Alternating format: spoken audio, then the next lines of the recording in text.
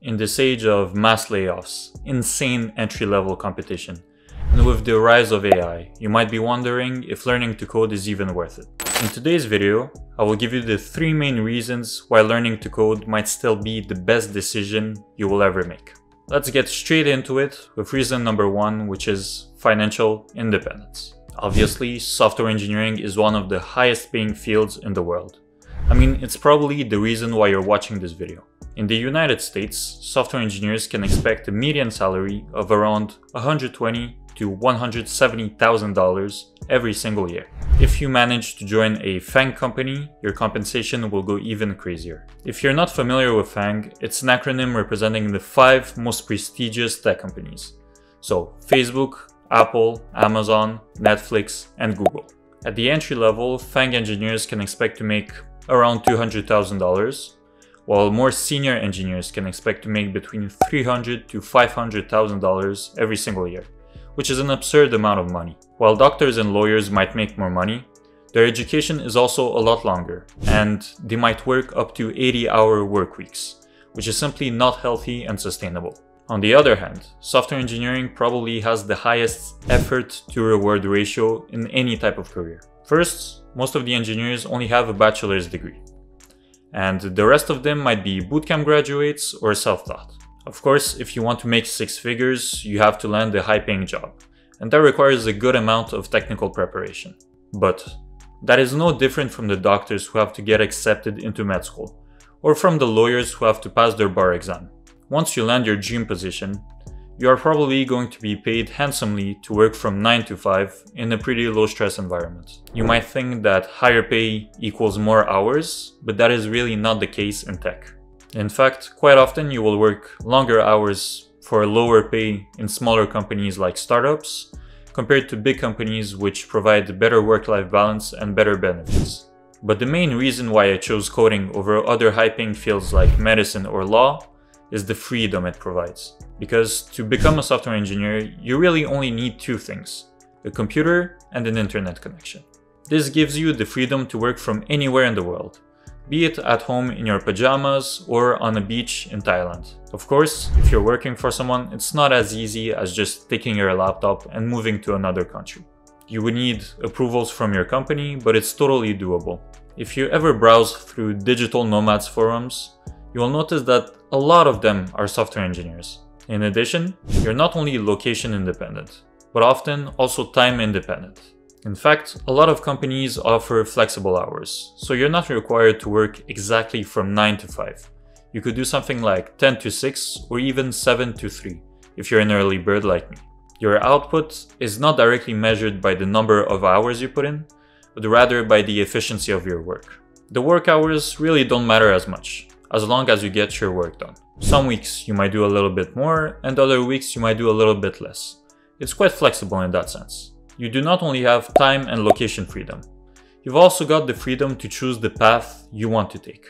This is something that I discussed in this video where I discussed the best ways to use coding to make millions. In the world of programming, there are many many paths you can take.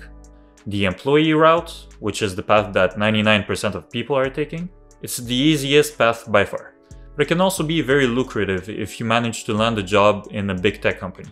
You can also go the self-employed and freelancer route, which is a bit harder to start with, but once you get some clients and you build relationships, you will become the master of your own schedule.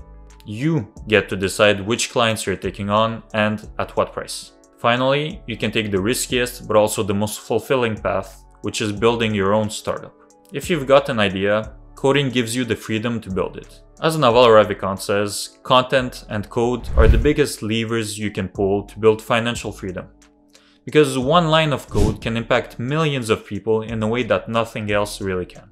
Don't get me wrong, going into software engineering for the money or the freedom it provides is an absolutely valid reason, but I also think you should have a love and curiosity for the art of coding.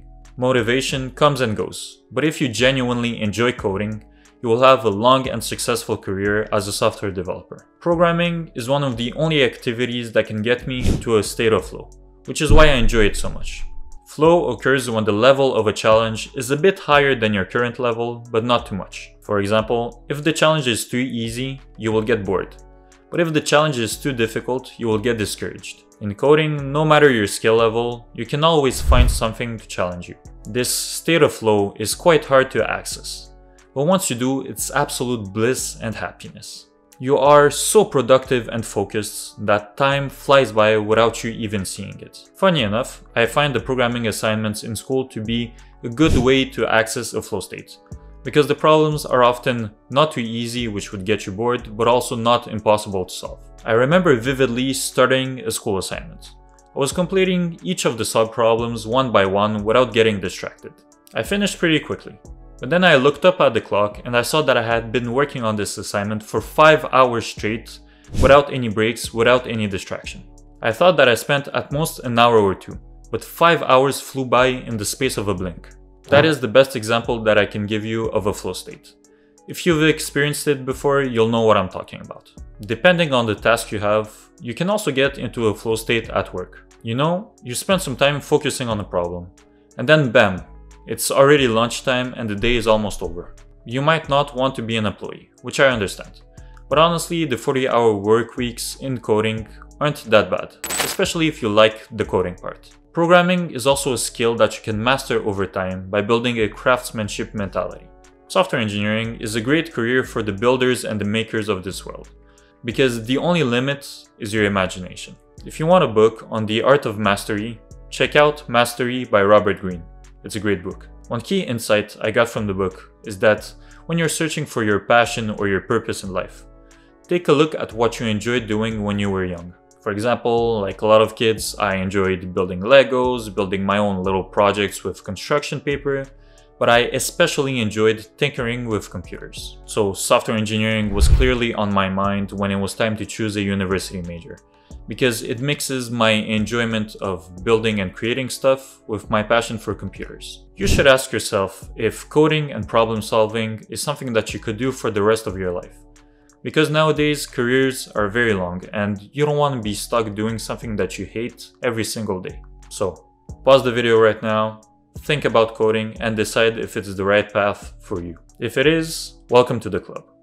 Choosing to learn to code might genuinely be the best decision you will ever make in your life. It can lead you to financial independence, it gives you time and location freedom, and it allows you to adopt a craftsmanship mentality. If you want to learn to code but you have no idea where to start, check out this video where I give you the complete roadmap to go from zero to hero in the world of web development. Thank you for watching, I'll see you in the next one.